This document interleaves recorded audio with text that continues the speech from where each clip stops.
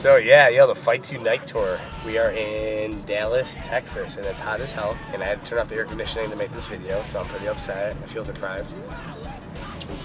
Completely relaxing. But the tour's been awesome. I don't know where to look. I should probably look at that. The tour's been sweet and uh, utterly enjoyable. There's my update. Now I will go eat a carrot. Goodbye. Get out, man. Sid Wilson in the tour video. This is my man Sid Wilson. Can we put you in our tour video? Is that cool? Yeah, of course. From Slipknot, man. He's the man. He's our dude. He's the most chill dude I've met in the last quite few months.